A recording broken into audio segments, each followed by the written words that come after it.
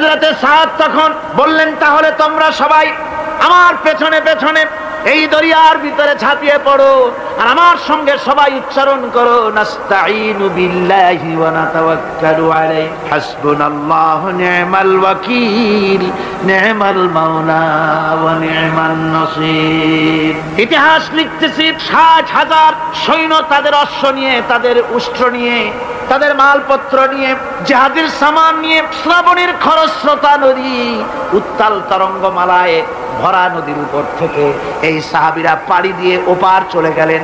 ওপার যাওয়ার পরে হাজরতে সাদ বলছেন, তোমাদের কেউ কি হারায় গেছে নাকি? সবাই এদিক ওদিক তাকায় খোঁজ করে বলল, মানুষ তো দূরের কথা, একটা উঠো আর ঘোড়াও একটাও হারায় যায় নাই। একজন বলল আমার একটা পেয়ালা যে পেয়ালা আমি পানি পান করতাম সেই পেয়ালাটা তুফানে ছিটকে কোথায় চলে গেছে ওইটা হারায় গেছে। হাজরাতে সাদ বলেন মুজাহিদের কোন জিনিস দরিয়া নিতে পারে না অবশ্যই তা ফেরত আসবে। এই কথা তিনি বলতেছিলেন হঠাৎ করে দরিয়ার কিনারে একটা আওয়াজ হলো দেখা গেল তুফানের ভিতরে সেই হারানো বাটিটা তাদের মধ্যে বেরিয়ে এসেছে। মুজাহিদদেরকে সাহায্য করেন স্বয়ং আল্লাহ রব্বুল আফ্রিকার জঙ্গলের কাছে, ভিন্ন ইতিহাস, জঙ্গলের কাছেই মুসলমানদেরকে থাকতে দেওয়া হয়েছে। মনে করা হয়েছিল জঙ্গলের সমস্ত হিংস্র প্রাণীরা এই মুসলমানদের শেষ করে দেবে, যুদ্ধ করা লাগবে না। হাজরাতে সাদ সে অবস্থা বুঝতে পারলেন। তিনি একটা মঞ্চ তৈরি করলেন। সেই মঞ্চের উপরে দাঁড়ায় জঙ্গলের প্রাণীদের দিকে লক্ষ্য করে তিনি নোটিশ জারি করে দিলেন, বললেন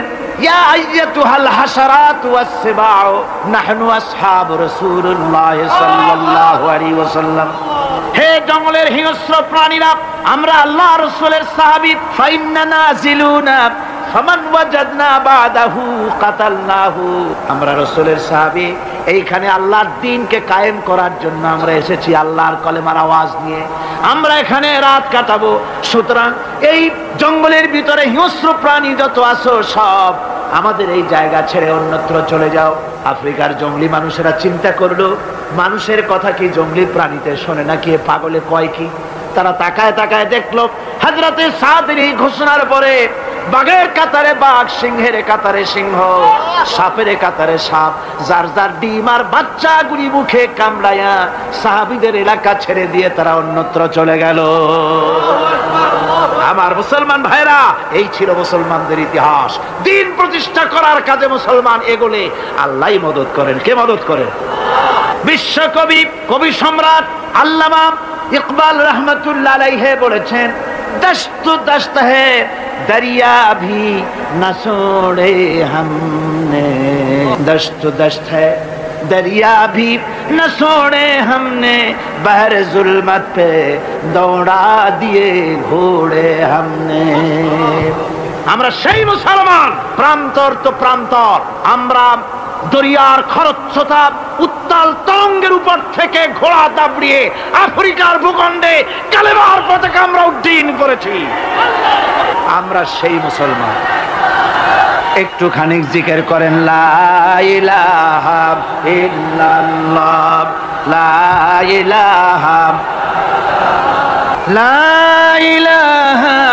ইল্লাল্লাহ লা ইলাহা লা ইলাহা ইল্লাল্লাহু মুহাম্মাদুর রাসূলুল্লাহ সমুদ্রের ঢেউকে দাসলা নদীর ঢেউকে আল্লাহ ইকবাল স্মরণ করাই দি ও দরিয়ার ঢেউ এ মৌজ জজলা তু ভি পহচানতি है हमको अब तक है तेरा दरिया अफसाना खां हमारा হে টাইগ্রেসের উত্তল উত্তাল তরঙ্গমালা। নিশ্চয়ই তোমার ভুলে যাওয়ার কথা নয় যে তোমার উপর থেকেই আমরা দরিয়া পার হয়ে উপরে গিয়ে কালেমার পতাকা উড্ডীন করেছিলাম। আমরা সেই মুসলমান, আজ ইসলামী চেতনা হারায়া, আমরা আজকে দুনিয়ার মধ্যে সবচাইতে লাঞ্ছিত, পদদলিত হ্যাঁ প্রতিপন্ন জাতিতে পরিণত হয়েছি। আমার ভাইরা, মহাকবি, বিশ্বকবি, কবি সম্রাট আল্লামা ইকবাল রহমতুল্লাহ আলাইহি সুন্দর করে বলেছেন, মুসলমানদেরকে লক্ষ্য করে বলেছেন, ঘোষণা করো, বাতিলদেরকে জানায়া দাও। আমরা মাথা নত করার জাতি নই। আমরা মাথা নত করার জাতি?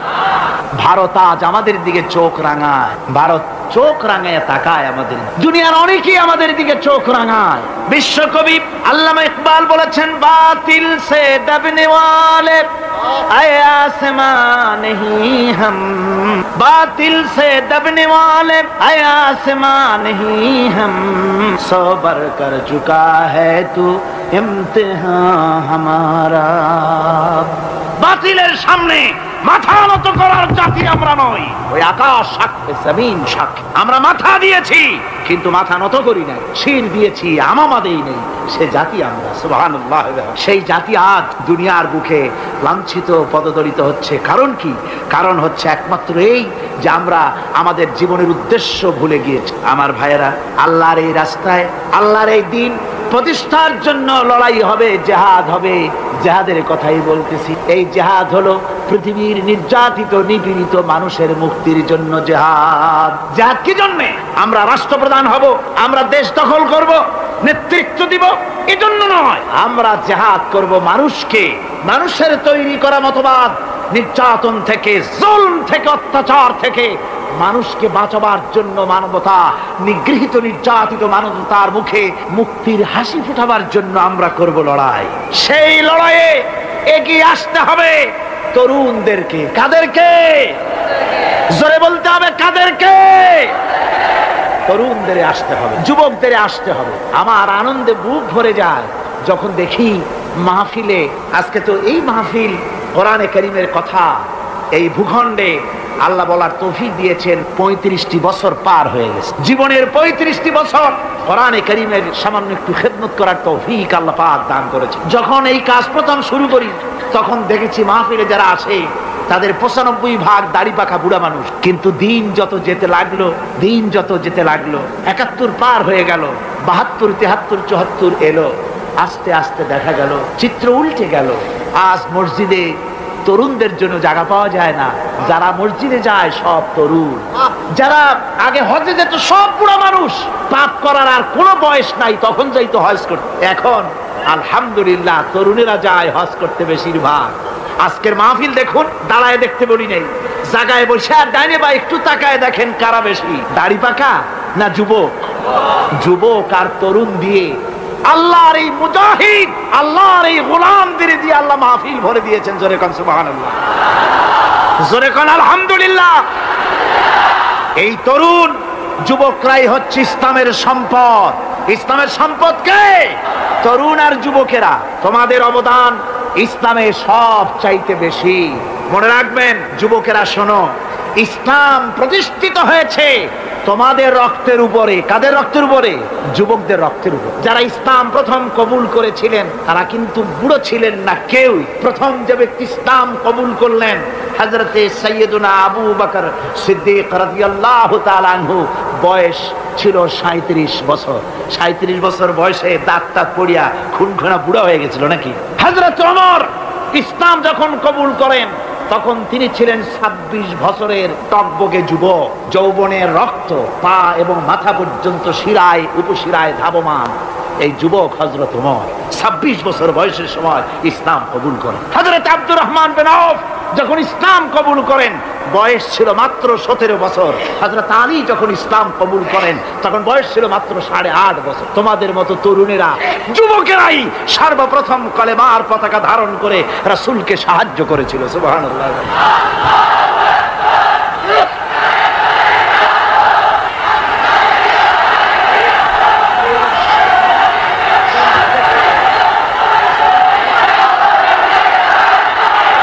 আমার মুসলমান ভাইয়েরা, থামুন, আমার ভাইয়েরা, যুবকদের যুবকদের অবদানই চিরকাল ইসলামে বেশি ছিল। তাই বলে, যারা বৃদ্ধ মানুষ, যারা বৃদ্ধ মানুষ তাদের কিন্তু কোনো মন খারাপ করার কোনো কারণ নাই। ঠিক কিনা? যেহেতু আমরা যারা বয়সের প্রান্তে এসে গেছি, আমরাও যৌবন কালটা, ওই যৌবন কালটা পেরিয়ে এসেছি, ঠিক কিনা? আরেকটি কথা, কেয়ামতের দিন কোনো বুড়ো মানুষ বেহেসতে যাবে না। সব যুবকরা যাবে। বেহেসতে যাবে কারা? বুড়োরা বোধহয় ভয় পেয়ে গেছে। রাসুল পাক সাল্লাম বলেছেন, আমার কথা না। হজুর বলেছেন, কোন বুড়ো মানুষ বেহেসতে যাবে না, কোন কালো মানুষ বেহেসতে যাবে না। এখন রসুল যদি বলেন তার কথাই তো আই হুজুর বলেন, কালো মানুষ ভেসতে যাবে না। একটা কালো মানুষ কান্দিয়ে তো পড়ি। হুজুর বলেন, কেঁদো না। তুমি যখন ভেসতে যাবে, চাঁদের মতো সুন্দর চেহারা নিয়ে ভেসতে যাবে। বুড়ার কান্না দেখে হুজুর বলছেন, কেঁদো না। তুমি যখন বেহেস্তে যাবে, আল্লাহ তোমার যুবক বানায় দিবে। যেহেতু বেহেস্ত হচ্ছে যুবকদের জন্য সুবহান আল্লাহ অত নাচ নিয়ামত, অত আনন্দ। বুড়া মানুষে তো খাইয়ে খুঁয়ে বেহেস্ত নষ্ট করি ভালো এই জন্য যৌবন দরকার, স্বাস্থ্য দরকার। বেহেস্ত উপভোগ করার জন্য। সেই জন্য বেহেস্ত যাবে কারা? তরুণেরা যাবে। কারা যাবে? তরুণ, তরুণী দিয়ে আল্লাহ পাক বেহেস্ত ভরে ফেলবেন, সুবহানাল্লাহ। আমার তরুণেরা, যুবকেরা, শোনো, রাসূলুল্লাহ তোমাদের কত সম্মান দিয়েছেন? কে সম্মান দিয়েছে? রাসূল। রাসূলুল্লাহ এক জায়গায় বক্তৃতা করতেছে, বক্তৃতা করছে। এমন সময় দেখা গেল, একজন তরুণ সাহাবী, নাম তার জারির তাআলা আনহু। চাঁদের মতো চেহারা তার ছিল, খুব সুন্দর চেহারা ছিল তার। হযরত জারির বসতে না পেরে জায়গা পায় না দাঁড়ায় রাসূল নিজের গায়ের চাদরটা খুলে জারিরের দিকে নিক্ষেপ করলেন। বললেন, জারির, দাঁড়িয়ে আছো, আমার চাদরের উপরে বসো। হযরতে জারির রাসূলুল্লাহর চাদর নিয়ে চুমা খাইতে লাগলেন আর বললেন, আকরামাকাল্লাহ, কামা আকরামতানি ইয়া রাসূলুল্লাহ। হে রাসূল, আল্লাহ আপনার সম্মান আরও আরও অনেক বাড়িয়ে দিন যেমন আপনি আমাকে মর্যাদা দিলেন, হে রাসূল, আপনার চাদরে পৃথিবীর কোনো মানুষ বসতে পারে। আমার তরুণ ভাইয়েরা আমার যুবক ভাইয়েরা, তোমাদেরকে রসুল মহব্বত করতেন, ভালোবাসতেন সব চাইতে বেশি। তোমরা আজ বাতিলের শিকার। কার শিকার? বাতিলের শিকার। তোমাদেরকে কি দেওয়া হয় যে সব রাজনৈতিক দলের যুবক যারা তোমরা এখানে আছো, জিজ্ঞেস করি, তোমাদের নেতারা তোমাদেরকে কি দেয়? দেয় অস্ত্র, দেয় টাকা, দেয় নারী ভোগ করার জন্য পয়সা, তোমাদের চরিত্র ধ্বংস করার জন্য সব রকমের হাতিয়ার তুলে দেয়। তোমাদের হাতে শোভা পায় কলম, হাতে শোভা পায় খাতা, হাতে শোভা পায় বই। বই, খাতা, কলমের পরিবর্তে তোমাদের নেতারা তোমাদের হাতে তুলে দেয় স্টেন গান, তুলে দেয় হেরোইন তুলে দেয় টাকা। এরা তোমাদের নেতা নয়, এরা তোমাদের জীবনের দুশ্মন। কি?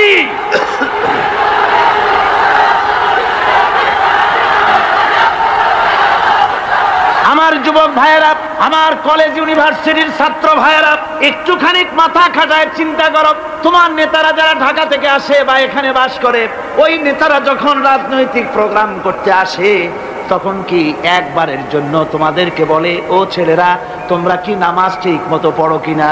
বলে। এই যে রোজা আসতেছে, খবরদার বাবারা, তোমরা রোজা রেখো, এরকম কথা বলে নাকি? তোমার ওস্তাদদের সম্মান করো। এ কথা বলে নাকি? বরং টাকা দেয়, পয়সা দেয়। যে শিক্ষক তোমার মতের উল্টা করবে, ঠ্যাঙ্গাইয়া জনমের মতো টাইট করে দিবা। ঠিক কিনা তোমার নেতারা কি কোনোদিন বলে নাকি, ও আমার সংগঠনের ছেলেরা মা বাপের খেদমত করবে মা বাপের সম্মান করবে, খবরদার মা বাপের সঙ্গে বেয়াদবি করবে না, সন্ত্রাস করবে না অস্ত্রবাজি করবে না, মানুষকে কষ্ট দিবে না। এমন কোনো কথা বলে না। আমার যুবকেরা শোনো, ওরা টাকা দিয়ে, অস্ত্র দিয়ে, পয়সা দিয়ে, মদ দিয়ে, ওরা নিজেদের ক্ষমতা টিকায় রাখার জন্য তোমাদেরকে লাঠির মতো ব্যবহার করে। সুতরাং আজকের তরুণদেরকে বুঝতে হবে, তরুণেরা, ভালো করে বোঝো তোমরা। তোমরা রসুলের সৈনিক, তোমাদের পক্ষে সম্ভব।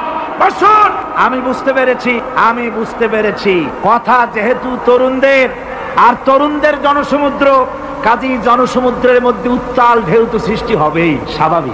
কিন্তু সেই স্বাভাবিকতার সুযোগ নিয়ে দাঁড়ায় বিশৃঙ্খলার সৃষ্টি করবেন না। আমার ভাইরা, আমরা ইসলাম আমাদের আদব শিক্ষা দেয়। কি শিক্ষা দেয়? আদব। শুধুমাত্র কোন লোক পেশাব পায়খানার কথা বললে তাকে রাস্তা ছেড়ে দেবেন যেতে বলবেন। তা না হলে তো আপনাদেরই অসুবিধা হবে। কথা বুঝতে পেরেছেন? বাকি কেউ উঠবেন না দাঁড়াবেন না। এত বড় বেহেস্তি মাহবিল জীবনে আরেকবার পাবো। কোন নিশ্চয়তা আছে?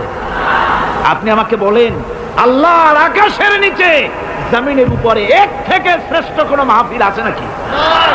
কারণ কারণ এ মাহফিল কোরআনের মাহফিল। কিসের মাহফিল? এর থেকে শ্রেষ্ঠ মাহফিল আল্লাহর আকাশের নিচে জমিনের উপরে হতে পারে। সুতরাং বেয়াদুমি কেউ করবেন তরুণেরা, যুবকেরা, তোমাদের এগিয়ে আসতে হবে। নির্যাতিত মানবতার পাশে তোমাদেরকে দাঁড়াতে হবে। আজ শ্রমিকরা তাদের ন্যায্য পাওনা পাচ্ছে না। কৃষক তাদের উৎপাদনের মূল্য পাচ্ছে না, নারী তার সতীত্বের গ্যারান্টি পাচ্ছে না। মানুষেরা আজ নির্যাতিত, নিপীড়িত সারা পৃথিবীতে Bosnia, Algeria, Somalia, Palestine, Kashmir, Burma, Philippine, Bharat পৃথিবীর সর্বত্র নির্যাতিত মুসলমানদেরকে বাঁচাবার জন্য আমার খালিদ বিন ওলিদের উত্তর সুরিরা সালাউদ্দিন আয়ুবি জামাল উদ্দিন আফগানি হাজরা তারই উত্তর সরি, আজকের মাহবিলের যুবক আর তরুণরা, তোমরা কি রক্ত দিতে পারবে?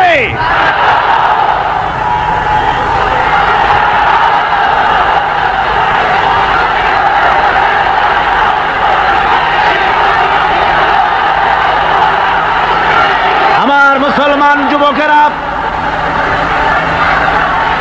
আল্লাহ রাস্তায় আল্লাহ রাস্তায় আল্লাহ রাস্তায় রক্ত দিলে তার অবস্থা কি হবে শোনো। আল্লাহ রাব্বুল আলামিন বলেছেন, ওয়ালা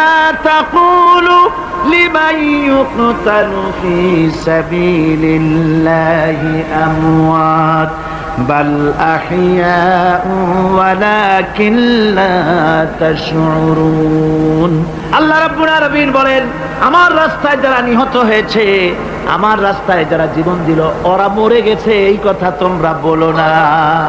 ওরা জিন্দা, ওরা কি?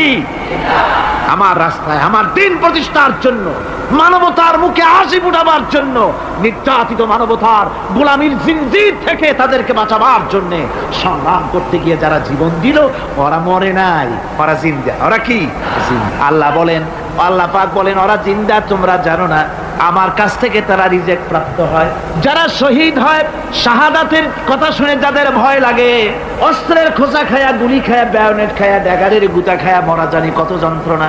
নবীজি বলতেছেন, আন আবি হুরায়রা রাদিয়াল্লাহু তাআলা আনহু, আন্না রাসূলুল্লাহ সাল্লাল্লাহু আলাইহি ওয়াসাল্লাম, মা ইয়াজিদু শাহীদু মিন মাসিল কাতল, কামা ইয়াজিদু আহাদুকুম মিন মাসিল কারছা তিরমিজি, অনাসাই আল্লাহ নবী বলেছেন হাজরাতে আবু হাদিসটি বর্ণনা করেছেন নবীজি বলেছেন শাহাদাতের মত হলো তোমাদের কেউ যদি আর একজনকে একটা চিমটি কাটে, ওই চিমটি কাটায় যতটুকুন যন্ত্রণা, শাহাদাতের মৌতের চাইতে বেশি কিছু যন্ত্রণা নয়।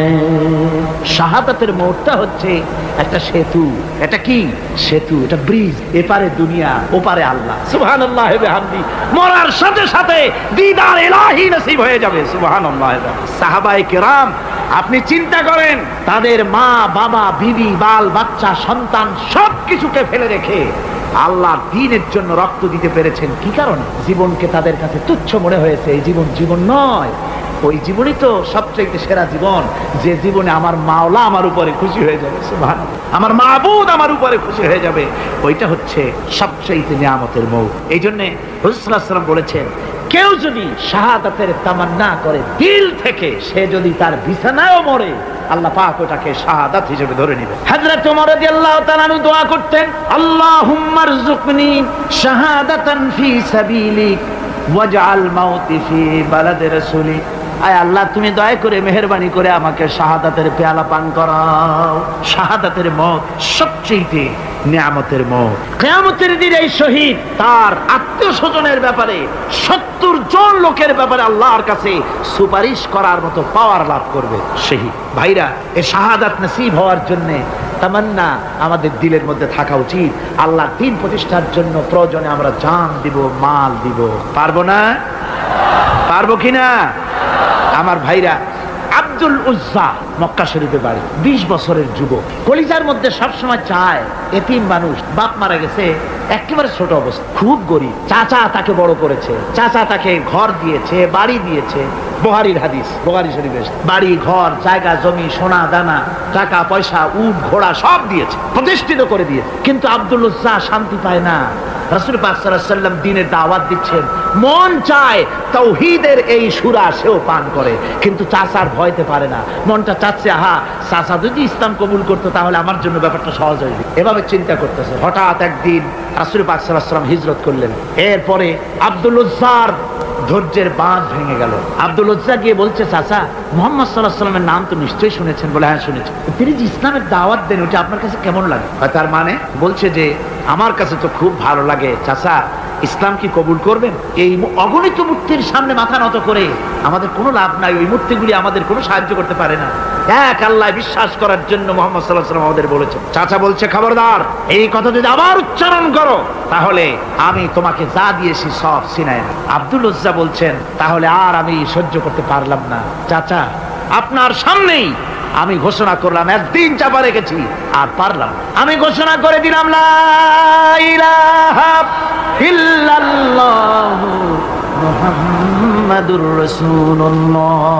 চাচা বলল, তুমি এর পরিণতি জানো? আব্দুল লজ্জা বলল, কি পরিণতি?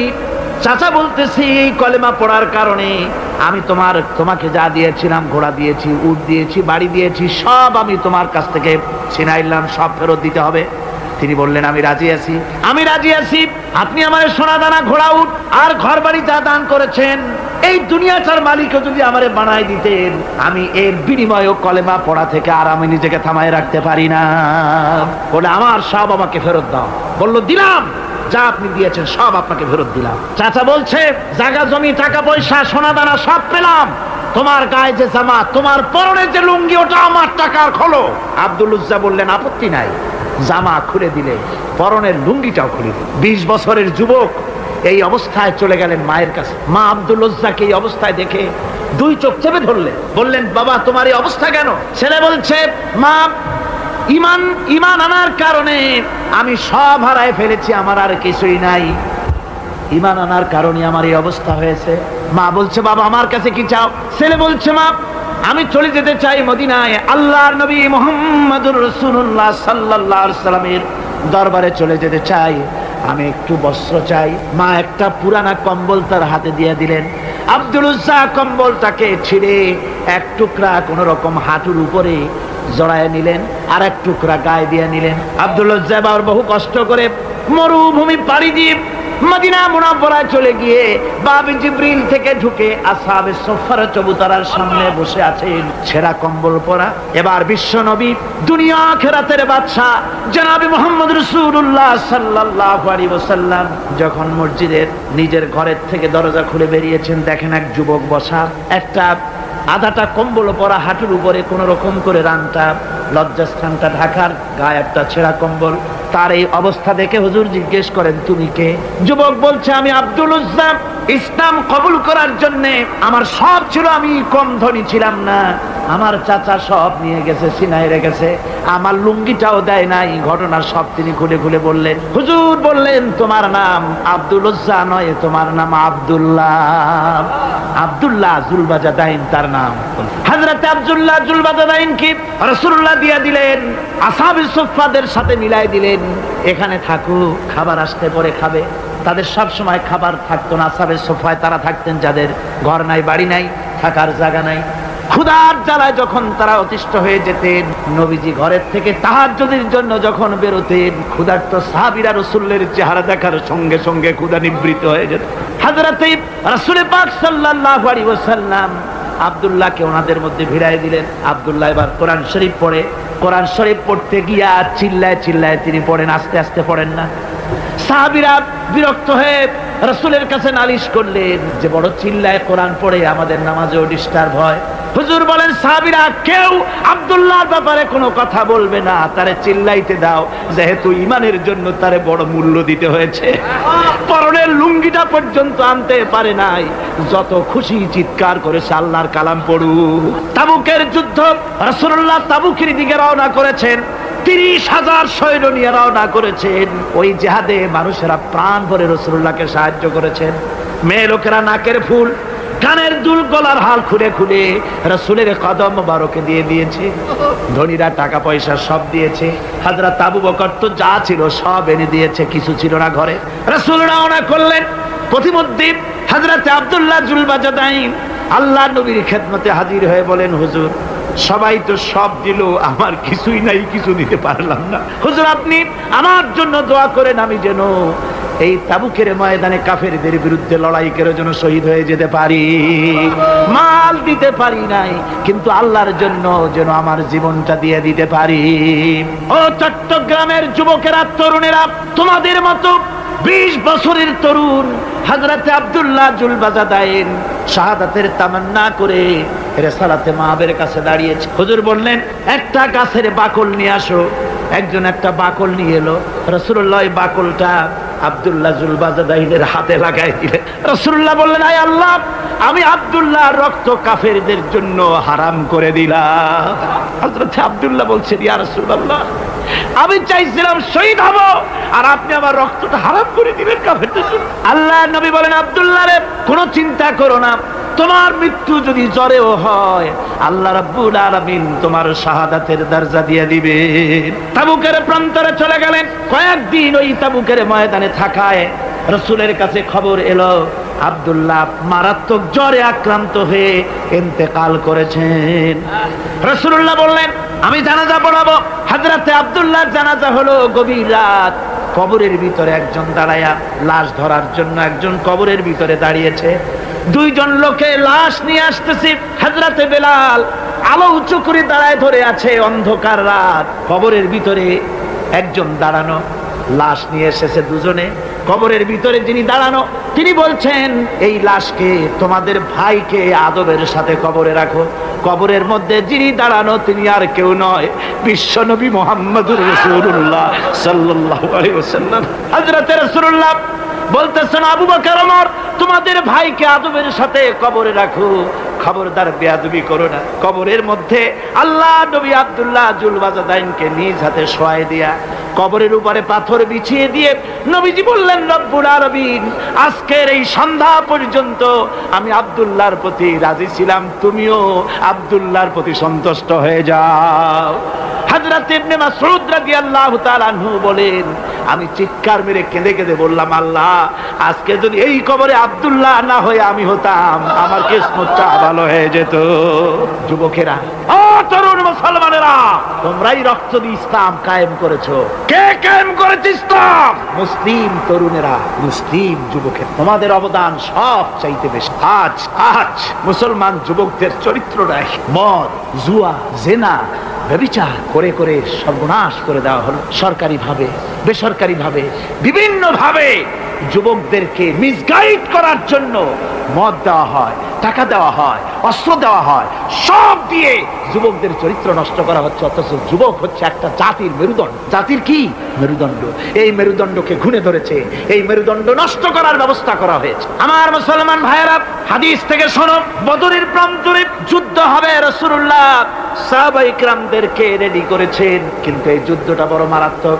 এই জেহাদ বড় মারাত্মক। জেহাদ হবে চাচার বিরুদ্ধে ভাতিজা জেহাদ করবে, বাপের বিরুদ্ধে সন্তান অস্ত্র ধারণ করবে, ভাইয়ের বিরুদ্ধে ভাই অস্ত্র ধারণ করবে। কোন জাত বদর। কোন জায়গায়? বদর। মক্কা থেকে যারা আসতেছে, সব চাচা, ভাই, মামু, খালু, এরা আপন আপন লোকের আপন লোকের বিরুদ্ধে অস্ত্র ধারণ করবে। এটা কি সহজ? কন? এটা কি সহজ? রাসুল্লাহ যুদ্ধের কথা মানুষকে বুঝাচ্ছেন। একটু ইতস্তত করে। হাজরাতি রাসূল পাক ওয়াসাল্লাম যুদ্ধের কথা সাহাবাই ক্রামদের সামনে পেশ করতেছেন।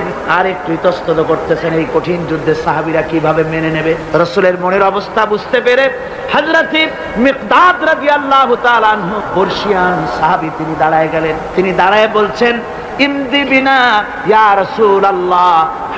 মা তাশাব হে রাসূল, আপনি আমাদেরকে নিয়ে চলুন।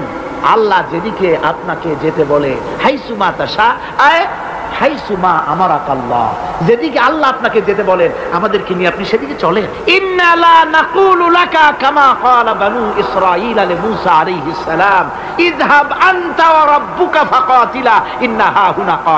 আমরা মূসা আলাইহিস উম্মতের মতো বলব না যে, হে মূসা, তুমি আর জিবরাইল আর তোমার আল্লাহ যুদ্ধ করো, আমরা ঘরে বসে আরাম করি। এ কথা আমরা বলব না, হুজুর। ইযহাব আনতা ওয়া রাব্বুকা ফাকাতিলা, ইন্না মাকুমা মুকাতিলুন। হে রাসূল, বরং আমরা বলব, আপনি যুদ্ধ করুন, আপনি আমাদের নিয়ে চলুন, আমরা লড়বো আপনার সাথে কাফেরদের বিরুদ্ধে। ততক্ষণ পর্যন্ত লড়বো, মা দামাত আইনুম মিন্না তাতাররাফ। ও রাসূল, যতক্ষণ আমাদের চোখের একটা পাতাও নড়ে ততক্ষণ আপনার সাথে আমরা লড়বো, সুবহানাল্লাহ। মানে জীবন যতক্ষণ আছে, আপনার সাথী হয়ে কাফেরদের বিরুদ্ধে লড়তে থাকব। হুজুর খুব খুশি হয়ে, হুজুর কি হলেন? দারুণ খুশি হয়ে গেল আল্লাহ নবী খুশি হয়ে বললেন, ও সাহাবীরা, তোমাদের মানসিক অবস্থা যখন এই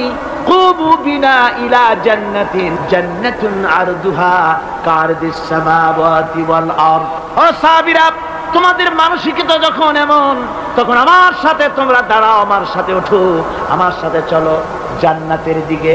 রসুল্লাহ আমার সাথে চলো বেশ, কোন বেহেস্ত এমন বেহেস্ত যে বেহেস্তের বিশালতার প্রশস্ততা ওই বিশাল আকাশ আর জমিনের চাইতেও বেশি। এই বিরাট জান্নাতের দিকে চলো আমার হাকামা উমাইর বিন হামাম, ওয়া কানা ইয়াকুলু তামা। যুবকেরা, তোমাদের মতো তরুণ, তোমাদের মতো এক যুবক, যার নাম ওমায়ের তিনি দাঁড়িয়ে গেলেন। হাতে ছিল খোরমা।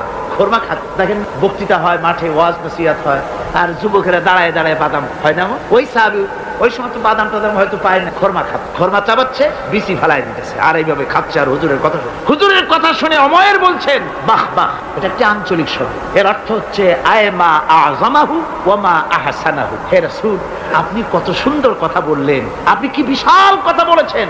কত বড় কথা বলেছেন। জিহাদ করলে, জান দিলে এমন ভেস্ত পাবো? যে ভেস্তটা হবে, ওই বিশাল আকাশের চাইতে এমন ভেস্ত পাবো?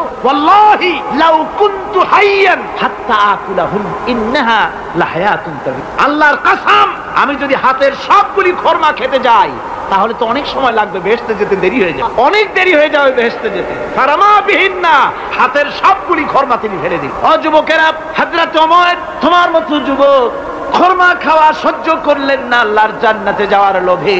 জান্নাতে যেতে দেরি হয়ে যাবে, আল্লাহর সঙ্গে দিদার করতে দেরি হয়ে যাবে। এই মনে করে হাতের খরমাগুলি ফালাই দিলেন জাহাদির ময়দানে ঝাঁপায় পড়লেন। হাদিস শরীফে এসেছে ওমায়ের জাহাদ করে বেশ কিছু কাফেরদেরকে নিহত করে নিজেও শহীদ হয়ে গেলেন। রসুল্লাহ বদরের সোহাদাদির জানাজা করার সময় একজন সাহাবি বলে দিলেন, হুজুর, এই সেই ওমায়ের আপনি যখন বেহেস্তের কথা বলছিলেন খোরমাগুলি খাওয়ার তর সহ্য হয় নাই বেহেস্তে যাওয়ার জন্য। এই সেই ওময়ের আল্লাহ নবী ওময়ের কাছে দাঁড়ায় আঙ্গুল দিয়ে তার শরীরের দিকে দেখায় বললেন, ইন্নাকা মিন আহলিহাব ও যুবক, যেই বেহেস্তের জন্য খোরমা খাওয়ার সময় তুমি পাও নাই, আমি নবী সাক্ষী দিচ্ছি, তুমি অবশ্যই সেই বেহেস্তের অধিবাসী। ওই বেহেস্ত তোমার জন্য আমার ভাইরা, কেয়ামতের দিন এই জান্নাত আল্লাহ রাব্বুল আলামিন দান করবেন ওই সব লোকদের জন্য যারা জান দিবে, মাল দিবে, রক্ত দিবে, আল্লাহ দিনের জন্য। কিসের জন্য? আল্লাহ দিন কায়েমের জন্য। যারা জান মা লক্ষ্য করে দেবে, জীবনকে উৎসর্গ করে দেবে, তাদের জন্য আল্লাহ পাক এই বিরাট নিয়ামত রেখেছেন। তরুণদের বলতে চাই, যুবকদের বলতে চাই, আর বাতিলের পেছনে ঘুরো না। আর তোমার ওই সব নেতাদের পেছনে ঘুরো না। যারা নিজেরাও নামাজ পড়ে না, তোমাকেও নামাজের কথা বলে। তারা নিজেরা মিথ্যা কথা কয়, তোমরা টের পাও না? কি বলেন, টের পাওয়া যায় না? মারামারি করে নিজেরা, আর বদনাম দেয় অপারের উপরে। চোখের সামনে যারা এরকম পারে। চোখের সামনে যারা এরকম পারে, তাহলে রাত দিন চব্বিশ ঘণ্টা তাদের আমলটা কেমন? এদের পেছনে ঘুরে কোনো লাভ নাই। কোনো লাভ আছে? হ্যাঁ একটা লাভ আছে। সেই লাভটা হচ্ছে টাটকা কিছু সুখ পেতে পারো। কিছু মদের টাকা, কিছু হোটেলের টাকা কিছু পরের মেয়ে নিয়ে ঘোরার টাকা, কিছু ভ্রমণের টাকা, কিছু অস্ত্রপাতি, ত্রাস সৃষ্টি করা। আর ত্রাস সৃষ্টি করবা, কয়টা অস্ত্রের মালিক হইছ? যুবক, তরুণ, বিপদগামী তরুণদের বলব, সরকার অননুমোদিত। অস্ত্র যাদের কাছে আছে শুনে রাখ। এই অস্ত্র কাউকে ক্ষমা করেন এই অস্ত্র কাউকে ক্ষমা করে না। সাপ, পোষার মতো। যে সাপ তুমি দুধ কলা দিয়ে পোষো, ওই সাপ তোমাকে আবার দংশন করবে। ওজা মরে না মরে না? সাপ খেলা যারা দেখায়, তারা মরে কিনা? ওই সাপেই তাকে কাটে। সুতরাং গভর্নমেন্ট অনুমোদিত অস্ত্র তোমার কাছে পাইপ গান রিভলভার স্টেন গান এলএমসি কত রকমের অস্ত্রপাতি যুবকদের কাছে। ঘুম নাই, সারা রাত অস্ত্র থাকে কাছে। আর কি কি লাল পানি খাইয়া চোখ দুইটা থাকে, এত বড় বড়। দেখলেও ভয় করে। মাথায় ভাল্লুকের মতো মানুষ মারো তোমরা, মানুষ মারো। আহা, যারে মারলা, একটুখানি হিউম্যান বিবেক দিয়ে চিন্তা করো। যাকে মেরেছ, ওই রাত্রে তার বাড়ির কাছে যাও। ওই রাত্রে গোপনে তার বাড়ির কাছে গিয়ে দেখো, তার মা কীভাবে তার সন্তানের জন্য কাঁদতেছে। মায়ের কোলটা খালি হয়েছে বলে কীভাবে কাঁদতেছে? তার বাবা কীভাবে কাঁদতেছে, তার বউ থাকলে কীভাবে ছটফট করতেছে, তার কলিজার টুকরা সন্তান থাকলে কীভাবে আব্বা আব্বা বলে কানতেছে যারে গুলি করে মেরেছো একবার বাড়ির কাছে গিয়ে কান পাচা শোনো। মনে রাখো যুবক, সন্ত্রাসীরা শুনে রাখো, অস্ত্র দিয়া মানুষকে যারা মেরেছো আল্লাহর কসম করে বলি, যেভাবে মেরেছো, ওইভাবে তোমাকেও নিহত হতে হবে, কোনো সন্দেহ নাই। বাড়িতে গিয়ে বাড়িতে গিয়ে ডায়েরিতে লিখে রাখো আমার কথা। থামুন। বাড়িতে গিয়ে ডায়েরিতে লিখে রাখুন, ডায়েরিতে লিখে রাখুন। যদি তুমি কাউকে হত্যা করে তার বউকে যদি বিধবা বানায় থাকো, তোমার বউ বিধবা হবেই। তুমি যদি কারও ছেলেকে এতিম বানায় থাকো, তোমার ছেলেকে আল্লাহ এতিম বানায় রাস্তায় ভিক্ষা করায় ছাড়বে। তুমি যদি কারও বাপকে, মাকে কাঁদায় থাকো, আল্লাহ রব্বুল আলামিন তোমার মা বাপকে কাঁদাবে। তুমি যদি বেয়নটের খোঁচা দিয়া, ড্যাগারের খোঁচা দিয়া একটা মানুষকে যদি বুক ফেরে থাকো, তোমার বুকটা ঝাঁঝরা করে দেওয়ার মতো অস্ত্র আল্লাহ তৈরি করে রেখেছে। বিশ্বাস করো বিশ্বাস করো। অননুমোদিত অস্ত্র থানায় জমা দিয়ে দাও। মসজিদে ঢোকো, নামাজ পড়ো, চরিত্রবান হয়ে যা তোমাদের প্রতি আমার উদাত্ত দাওয়াত, আমার বুক ভরা দরদ। তোমাদের বিরুদ্ধে আমাদের কোনো বিদ্বেষ নাই, হিংসা নাই, আছে কলিজা বড় ধরদ দেখতে পাচ্ছি জাহান নামের দিকে যাচ্ছে। এ পথটা কোন দিকের পথ? যারা বলেন, কোথার পথ? ওই নেতাদের পিছনে আর চলো না, তওবা করো। ওই নেতাদের পিছনে আর যাবে না। যারা তোমাদেরকে টাকা দেয় আর অস্ত্র দেয়, যারা তোমাদেরকে মদ দেয় আর নারী দেয়, ওদের পিছনে আর চলবে না। ওয়াদা করো। যুবকরা কি পারবে ওয়াদা করতে? ওই সব নেতাদের পিছনে জীবনে আর যাবে না, ওয়াদা করতে পারো। হাত উঁচু করে দেখাও যুবকেরা।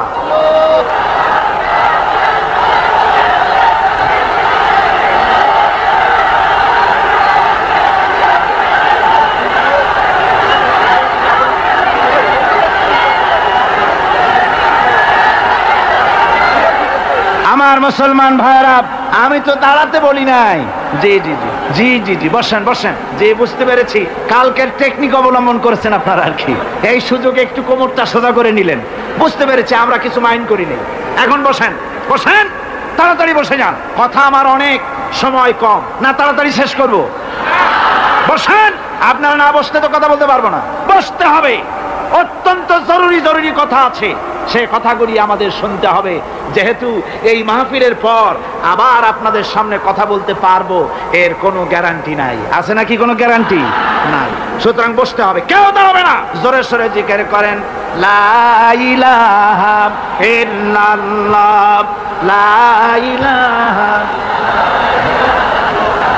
আমার ভাইরা, আজকের মাহফিলের সবচেয়ে বড় আকর্ষণ আখেরি মোনাজা ঠিক না?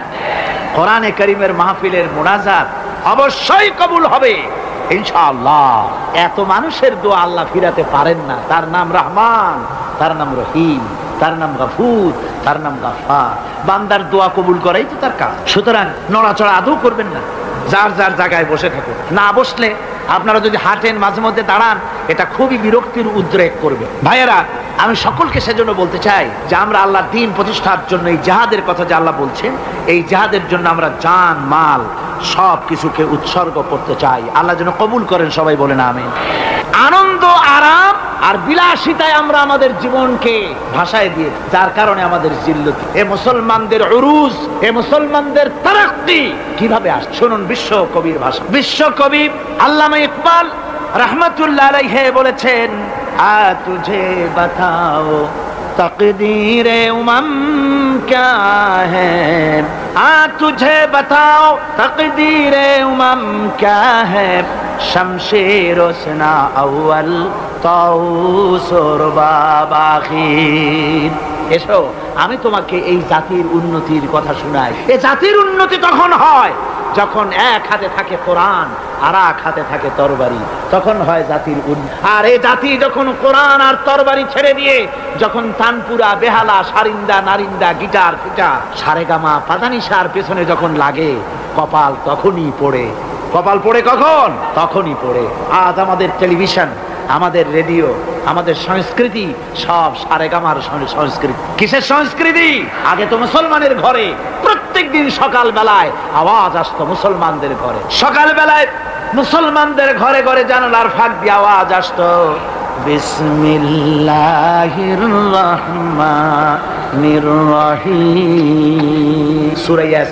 রহমান ইত্যাদির তেলাওয়াত ভেসে আসতো। এখন আর তেলাওয়াত ভেসে আসে এখন এখন মুসলমানদের ঘরের থেকে সকাল বেলায় আওয়াজ আসে, সারে গামা পাদানি শাহ, বাবা খালু, মামু নানা, হাবি যাবি এই গানের ট্রেডিংগুলি গানের শব্দগুলি চলে আসে। কোরআন শিখবার জন্য, শিখাবার জন্য ছেলের জন্য যে মৌলবী রাখে, সারা মাস পড়াবে, বেতন তিনশো টাকা। আর গানের মাস্টার যে গান শিখাবে রবীন্দ্র সঙ্গীতের প্যান প্যানানি সুর শিখাবে, নাচ শিখাবে, সপ্তাহে দুই দিন এসে দুই ঘণ্টা শিখাবে, বেতন তিন হাজার কপাল পোড়া জাতি। কি পোড়া জাতি? জাতি তার কপাল পুড়ে। কোরআনের সাথে তার সম্পর্ক কম। জেহাদের সাথে সম্পর্ক কম। সম্পর্ক হয়েছে গানের সাথে, সম্পর্ক নাটকের সাথে। তাই আজ আল্লাহর দিন কায়েমের জন্য লড়াইয়ের ময়দানে আসতে হবে। বাংলাদেশে কিন্তু জেহাদের ডাক এসে গেছে। কিসের ডাক এসেছে? জেহাদের ডাক, এ জেহাদের সাড়া দিতে হবে। আমি আগেই বলেছি, ওই জেহাদ ওই রকম না যে লাঠি ঠেঙ্গা নিয়ে যাবাই বলব জেহাদ হচ্ছে বাতিলের বিরুদ্ধে। টেলিভিশনের ভিতরে নাটকের মাধ্যমে ইসলামকে অসম্মান করা হচ্ছে।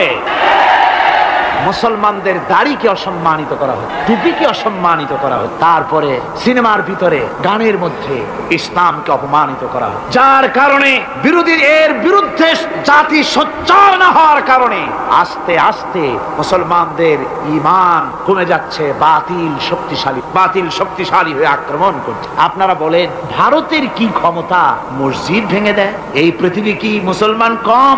জোরে বলেন, মুসলমান কম। তাহলে ভারতের বাবরি মসজিদ, তারা ভাঙলো কি করে? সাহস পেল কেথা সাহস পেয়েছে?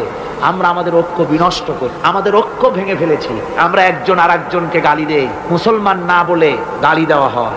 পরস্পরের মহব্বত নাই, স্বীকৃতি নাই, শ্রদ্ধা নাই। ঐক্যবদ্ধভাবে আমরা নাই। আমরা আমাদের চরিত্র নাই, চরিত্র নষ্ট করেছি।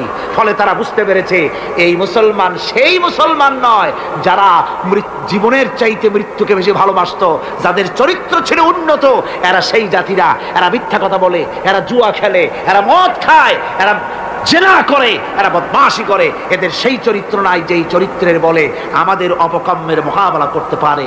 এই বিশ্বাস নিয়ে তারা তা বাবরি মসজিদের উপরে হামলা করেছে। বাবরি মসজিদ ভাঙলো মসজিদের উপরে যখন শাবল মারা হচ্ছিল, কেবল নিউজ নেটওয়ার্কের মাধ্যমে আমরা এই দৃশ্য দেখেছি, টেলিভিশনের পর্দায়। দেখেছি শাবল মারা হচ্ছে তখন মনে হচ্ছিল শাবল তো মসজিদের উপরে পড়ছে না শাবল যেন পড়ছে পৃথিবীর একশত পঁচিশ কোটি মুসলমানের কলিজার উপরে। ভারত মসজিদ ভেঙে দিল। এরপরে এই মসজিদ ভাঙলো বিজেপি। শিবসেনা সহযোগিতা করল ভারতের প্রধানমন্ত্রী নর নরপশুরাও এ পৃথিবীর বর্তমান পৃথিবীর নিকৃষ্ট মানব সন্তান, জঘন্য শয়তান, নরপশু। ওইটা নরসীমা নয়, ভারতের প্রধানমন্ত্রী মানুষ না এটা একটি শয়তান। জোরে বলেন, এটা কি? পৃথিবীর ইতিহাসকে কলঙ্কিত করেছে। আজ পর্যন্ত পৃথিবীতে কোথাও মসজিদ ভাঙা হয়েছে এর কোনো ইতিহাস আর ভারতের বেয়াদব সরকার বাংলাদেশে যখন সংসদে সংসদে ভারতীয় এজেন্টদের প্রতিবাদের মোকাবেলায় যখন ভারতের এই কাজের নিন্দা জানানো হলো, ভারতের বেয়াদব সরকার তখন বলছে, বাংলাদেশের গতিবিধির উপরে আমরা কড়া নজর রাখছি। বেটা বেয়াদব বাংলাদেশ কি তোমার ভুটান না সিকিম? বাংলাদেশের উপরে কড়া নজর রাখার অধিকার তোমার নাই। এই পৃথিবীতে বাংলাদেশের সব চাইতে বড় দুশ্মন ভারত। সব চাইতে বড় দুশ্মন কে?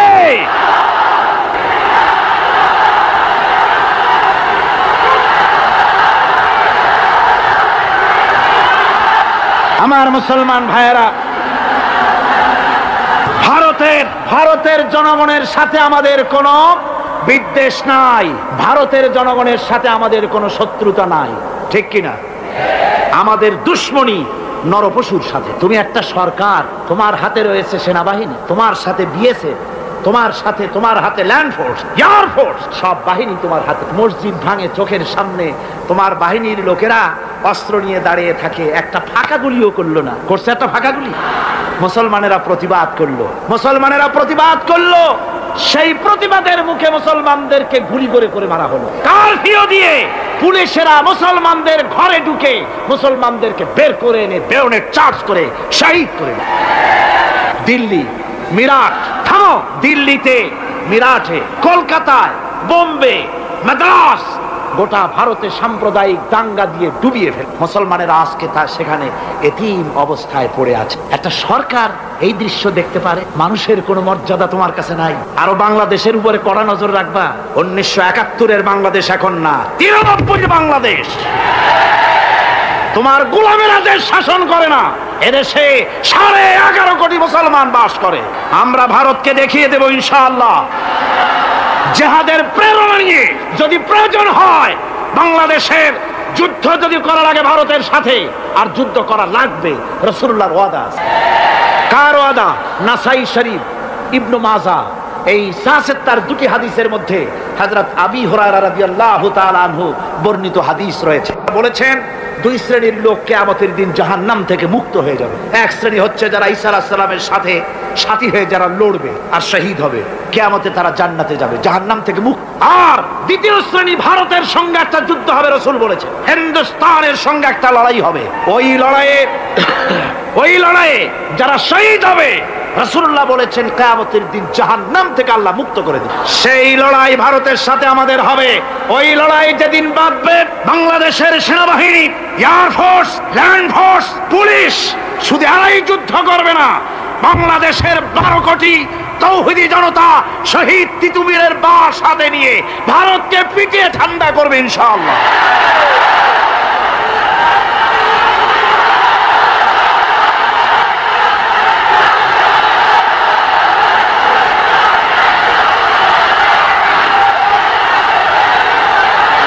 আমার দেশে ভারতের মসজিদ ভাঙার প্রতিবাদে আমাদের দেশে একটা হিন্দুও মরে নাই। কথা ঠিক কিনা কন?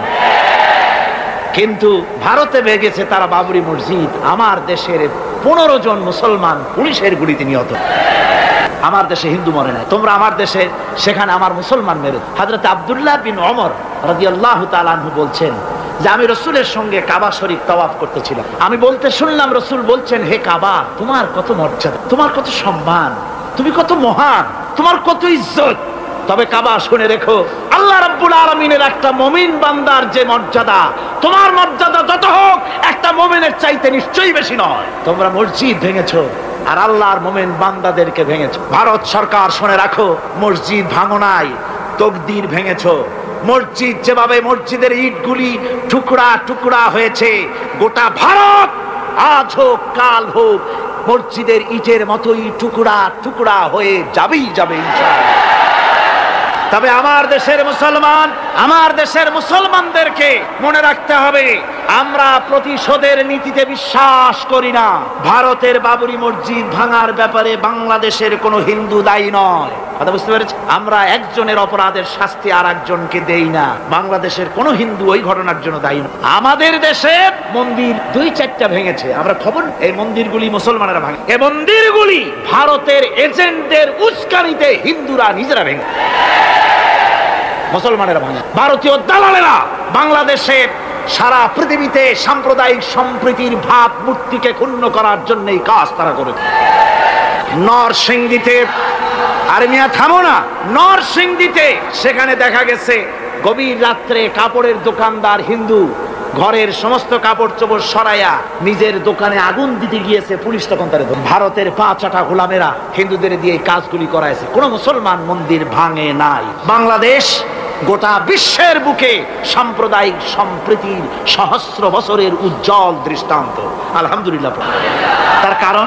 তার কারণ হচ্ছে আল্লাহর নবী বলেছেন, আল্লাহর নবী বলেছেন, সংখ্যালঘুরা সংখ্যালঘু মুসলিম এলাকায়, সংখ্যাগরিষ্ঠ মুসলিম এলাকায় সংখ্যালঘু অমুসলিম যারা, তারা হতেছে পবিত্র আমানত। ওই আমানতের কেউ যদি খেয়ানাত করে অর্থাৎ অমুসলিমদের পরে যদি কেউ অত্যাচার করে, তাহলে আমি নবী মোহাম্মদুর রসুল্লাহ সাল্লাহ আলাইহি ওয়াসাল্লাম কেয়ামতির দিন আল্লাহর দরবারে মুসলমানদের বিরুদ্ধে মামলা দায়ের করব।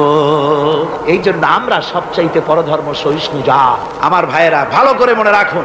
ভারতের বাবরি মসজিদ সহ এখন তারা আরও অন্যান্য মসজিদও ভাঙবার ভাঙ্গা প্ল্যান নিয়েছে ভাঙতে। তাজমহলকেও তারা ভাঙ অন্যান্য মসজিদও ভাঙবার পরিকল্পনা নেই ওরা যদি মসজিদ একটা একটা ভাঙতে ভাঙতে আল্লাহ না করুন সবগুলিও যদি ভাঙে বাংলাদেশের একটা মন্দিরকে আমরা ভাঙতে দেব না। এর নাম ইসলাম। এর নাম কি? ভারতের সাম্প্রদায়িক দাঙ্গা বাদিয়ে মুসলমান একটা একটা করে করে সব মুসলমানও যদি তারা মেরে ফেলে দেয়, আল্লাহর কাসাম, বাংলাদেশের একটা মুসলিমের গায়ে আমরা হাত দিতে দেব না। এর নাম ইসলাম। এর নাম কি? আপনারা যদি কখনো শোনেন যে কোন এলাকার কোন লোক মন্দির ভাঙতে যাচ্ছে অথবা হিন্দুর বাড়ি আক্রমণ করতে যাচ্ছে, সাথে সাথে তাকে ধরে থানায় সোপর্দ করবেন। রাজি আছেন? কারা রাজি? হাত উঁচু করে দেখান। আলহামদুলিল্লাহ হাত নামা। এই সাম্প্রদায়িক সম্প্রীতি বাংলাদেশে অতীতে ছিল এখনও থাকবে ইনশাআল্লাহ ভবিষ্যতেও থাকবে। ইনশাআল্লাহ বলেন ইনশাআল্লাহ। আমাদের শত্রু আমি বারবার বলছি হিন্দুরা শত্রু নয় শত্রু হচ্ছে ভারতীয় এজেন্ট যারা ভারতের দালাল যারা ওরা আমাদের ঠিক কিনা? তারা বাংলাদেশের স্বপ্ন এখানে বসে দেখে। পত্রপত্রিকার মাধ্যমে, টিভির মাধ্যমে হাজারো প্রচেষ্টা তারা চালিয়ে যাচ্ছে ইসলামের বিরুদ্ধে। সুতরাং ইসলামকে জমিনে টিকিয়ে রাখার জন্য চাই সংগ্রাম। তাই আল্লাহ রব্বুল আলমিন বলেছে ওয়া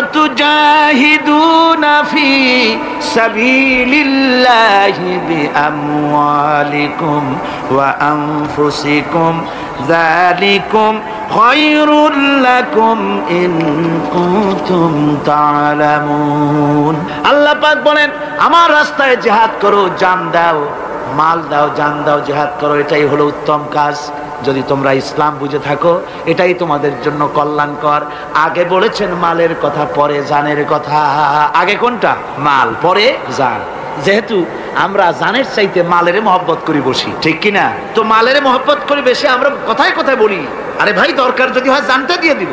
আর জান যদি দিয়েই দেন তো মালটা তো থাকেই গেল। এই জন্য আল্লাহ বলেছেন, মাল আগে দাও, তারপরে জান দাও। আমরা খুব চালাক, আমরা জান দিতে প্রস্তুত, মাল দিতে প্রস্তুত নয় একবার একটা লোক যাচ্ছে রাস্তা দিয়ে, সাথে তার প্রিয় কুকুর। কুকুরটা জিব্বা বেরিয়ে গেছে, মরে যাচ্ছে। কুত্তার মালিক কাঁদতেছে। একজন লোক এসে বলে, ভাই, তুমি কাঁদো কেন? কয় যে, আমার এই কুত্তাটা খুব প্রিয় কুকুর, কুকুরটা মরে যাচ্ছে, তাই কাঁদ কুকুর মরে কেন? কয়, কুকুরটা মরতেছে তিন দিন ধরে আমি কোনো খাবার তাকে দিতে পারি না সেই জন্য কুকুরটা আচ্ছা হোক, তবু তো আল্লাহর সৃষ্ট এক প্রাণী। কি খেতে দেওয়া যায়? এদিক ওদিক তাকায় দেখে কুকুরের মালিকের কাছেই রয়েছে একটা পোটলা। মিয়া, তোমার এই পোটলার মধ্যে কি? কয়, পোটলার মধ্যে হালুয়া আর রুটি। তোমার পোটলার মধ্যে হালুয়া আছে, রুটি আছে। কুত্তা মরে ক্ষুদার চাল আর তুমি সেখানে কান্দো। ওর থেকে এক টুকরো রুটি দিলেই তো কুত্তা বাসে কুত্তার মালিক বলছে, মিয়া সাহেব, ওই সব ফটো আমারে শুনেন এগুলো আমি খুব জানি। রুটি আর হালুয়া দিলেই তো আমার পয়সা খরচ হবে। ওর দরদে যে কান্তিছি, এজন্য তার পয়সা খরচ হচ্ছেন। আমাদের অবস্থা কিন্তু তাই হয়ে ইসলাম বিদায় হয়ে যায়, যাক না। কিন্তু আমি কাঁদবো, পয়সা দিব না। রসুলের করুণ ঘটনাগুলি শুনে চোখের পানি ফেলব। কিন্তু এই করুণ ঘটনা কেন ঘটলো? সেই ময়দানে আমরা পা ফেলব না। এরকম একটা অ্যাটিটিউড এ ধরনের একটা মেন্টালিটি আমাদের মধ্যে গ্রো করেছে। ঠিক কিনা কর আমার ভাইয়েরা, মাল দিতে হবে, জান দিতে হবে সব কিছুকে উৎসর্গ করে দিতে হবে। আল্লাহ দিন প্রতিষ্ঠার জন্য যার পয়সা আছে, পয়সা দিয়ে কি করবেন যদি আল্লাহ দিন এ জমিনে কায়েম না হয়? আল্লাহর দিন কায়েম না হলে অসত্য, বদমাশি, শয়তানি, সব রকমের অন্যায় কাজ দিয়ে ভরে যাবে দেশ। ক্রমান্বয়ে অশান্তির দিকে যাবে, শান্তি আসবে, কেবলমাত্র ইসলাম প্রতিষ্ঠা হলে পরে। আমাদের অবস্থা হলো যে আমরা ওই কুফাবাসীদের মতো। কাদের মতো? কুফাবাসীদের মতো। কুফাবাসীরা হজরত ইমাম হোসাইনের জন্য দারুণ ভাবে কেঁদেছে, ঠিক কিনা? কুফাবাসীরা, ইমাম হোসেনকে দাওয়াত দিছিল কারা? কুফাবাসীরা। অনেকগুলি চিঠি তারা লিখছে। কুফাবাসীরা ইমাম হোসাইনকে ভালোবাসতো, দাওয়াত দিয়েছে। তার জন্য কেঁদেছে। কিন্তু কুবাবাসীদের চোখের পানিটা ছিল ইমাম হুসাইনের জন্য। আর অস্ত্র টাকা পয়সা সব সবটা ছিল এজিদের। কথা বুঝতে কুবাবাসীদের মতো অবস্থায় আমাদের হয়েছে। কুবাবাসীদের হজরত ইমাম হুসাইনের জন্য তারা শুধু চোখের পানি ফেলেছে। আর টাকা পয়সা অস্ত্রপাতি যা ছিল, সব ছিল তাদের এজিদের জন্যে। আমাদের অবস্থাও তাই। আমরা ইসলামের জন্য শুধু চোখের পানি ফেলি। আর যখন ভোট দেই, তখন ইসলাম যারা চায় না, তাদেরকেই ভোট দেই। ঠিক কিনা? আমাদের টাকা, আমাদের পয়সা, আমাদের ইলেকশন আমাদের হরতাল, আমাদের ধর্মঘট, সব কিছু হচ্ছে ইসলাম যায় না যারা চায় না তাদের জন্য। আর ইসলামের যখন কথা বলি, ইসলামের কথা শুনলে শুধু চোখের পানিটাই ছাড়ি। মোহব্বত, চোখের পানি দিয়া শেষ করে দিই, আর কিছুই। আমি একবার, আমি একবার এইখানে, এই শহরে অনেক বছর আগে একটা জানাজার শরীর কোন মাঠে আমার এখন তার জানাজার পরে যিনি জানাজা পড়ালেন, তিনি বললেন, ওই লাশকে সামনে রেখে বললেন, কেন আসিল? তখন আমি নতুন নতুন চিটামে আসছি, আমি ভাষা ভালো করে বুঝিও না। একজন বলল, কেন আসিল?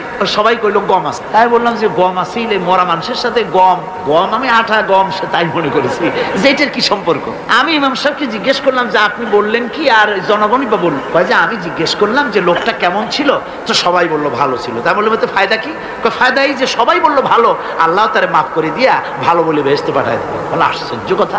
আল্লাহ কি এইরকম নাকি? যে একটা সুদখোর ঘুষখোর, জেনাকার, এ লোক ভালো না খারাপ, আমি তা বলতে চাই কিন্তু একটা লোক, সে কন্ট্রাক্টার কন্ট্রাক্টারি করতে গিয়ে রাস্তাঘাট, স্কুল, কলেজে রড, সিমেন্ট, জনমের মতো খাইছে। কথা বুঝতে পেরেছে সরকারি গিয়ে, ক্ষমতায় গিয়ে গভর্নমেন্টের টাকা পয়সা জনমের মতো শেষ করে ফেলেছে। এই লোকটি সুদখোর ঘুষখোর, জেনাকার, মরে গেছে।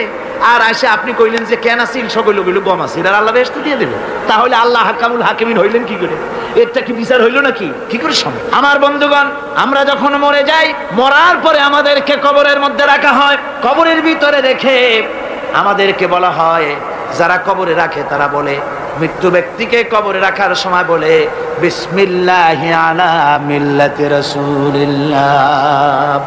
আল্লাহর নামে রসুলের দলে উঠাই দিয়ে গেল। আল্লাহর নামে কার দলে উঠাইলো? রসুলের দলে। চিন্তা করেন ভাইরা আল্লাহর নামে রসুলের দলে উঠাইলেন কারে? টিপ তার যৌবন কারে?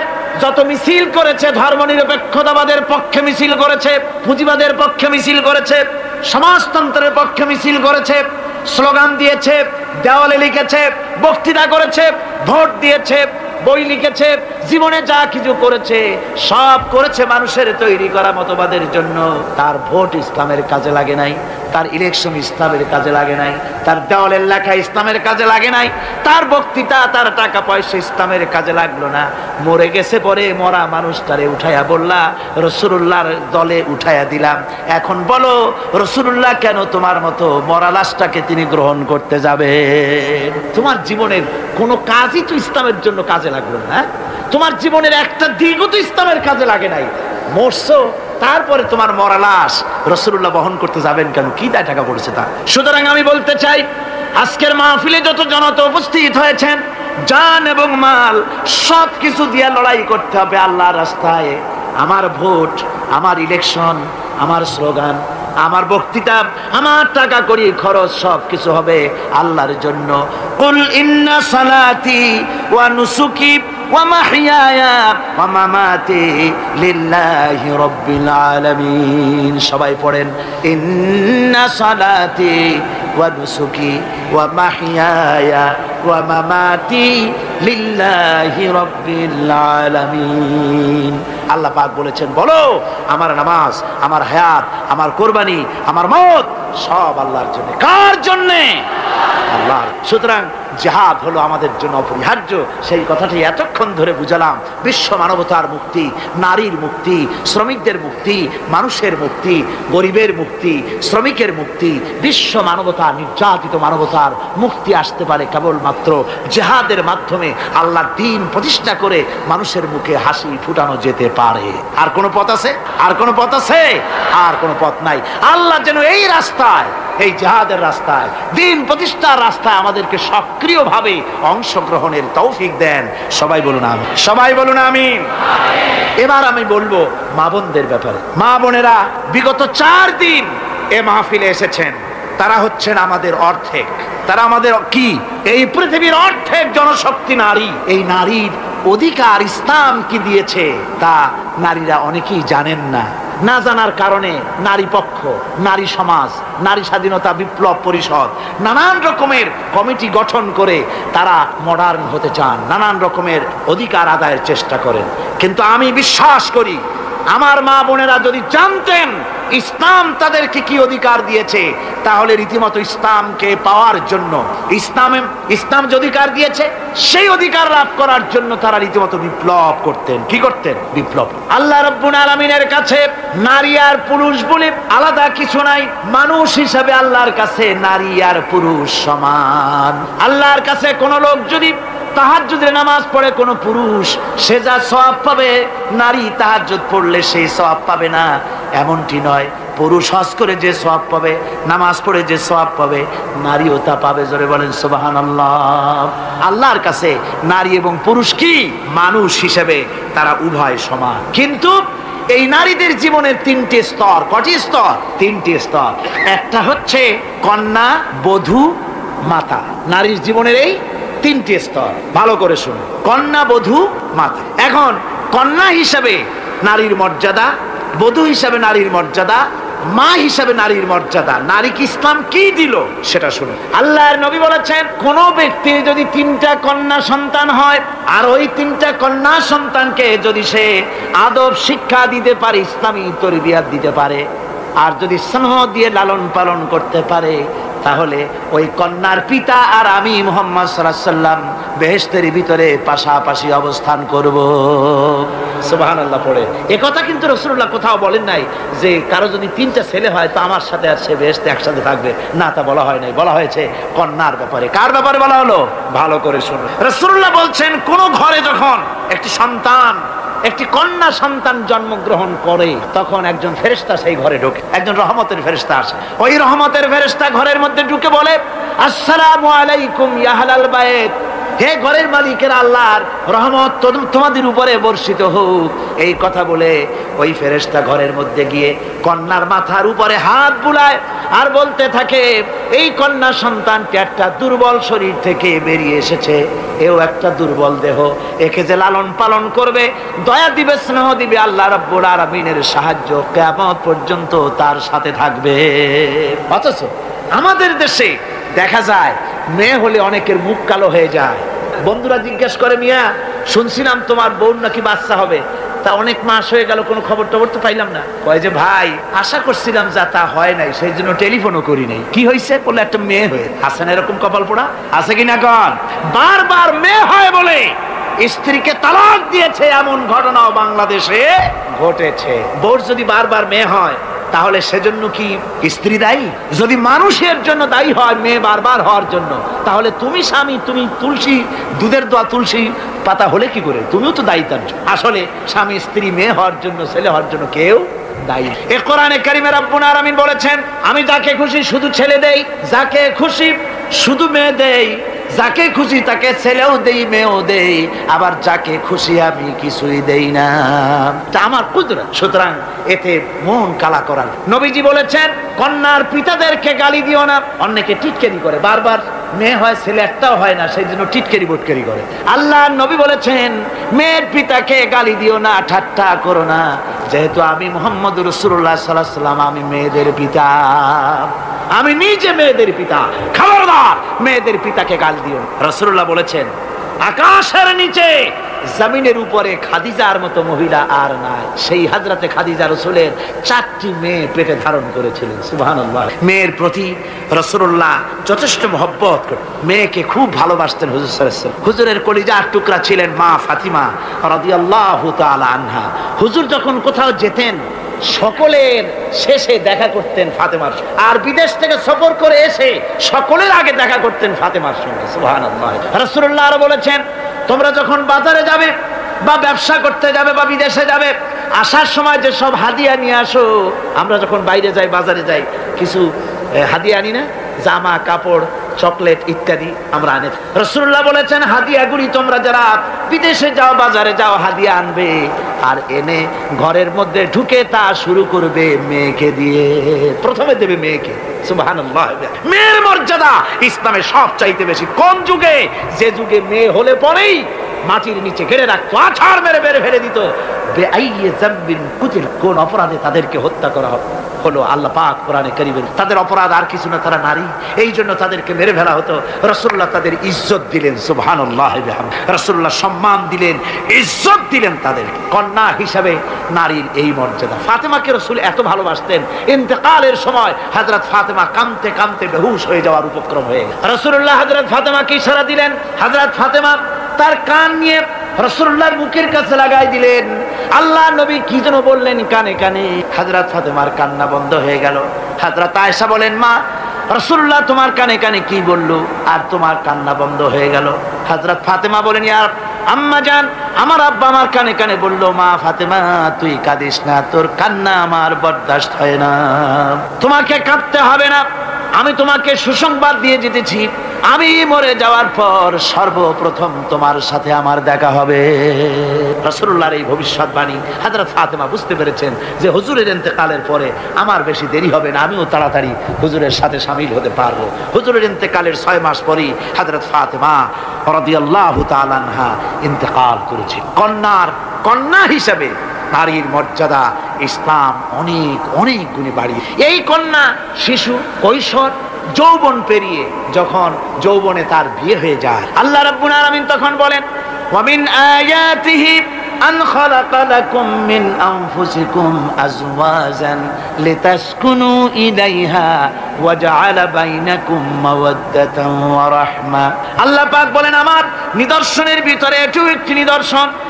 যে আমি তোমাদের থেকে তোমাদের জোড়া তৈরি করেছি, তোমাদের স্ত্রীদেরকে তৈরি করেছি, তোমাদের সাথে তোমাদের স্ত্রীর ভালোবাসা সৃষ্টি করেছি, মহব্বত সৃষ্টি করেছি। এই মহব্বত আমি আল্লাহ তৈরি করেছি।